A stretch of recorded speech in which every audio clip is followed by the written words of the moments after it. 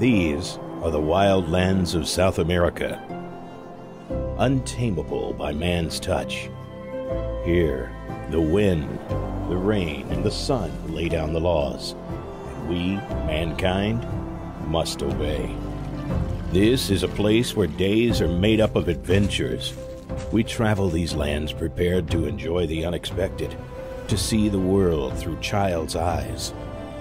We wander across the surface of this wondrous world, grateful to be passengers, to have a seat in the front row, watching the theater of Mother Nature unfold.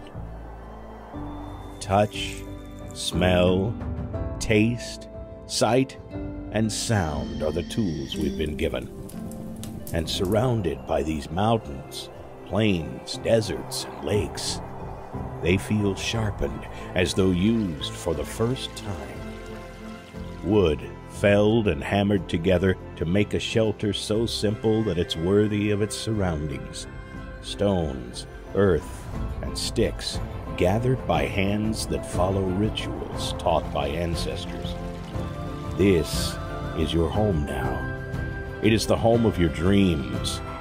But the wonders it beholds are far beyond the scope of imagination.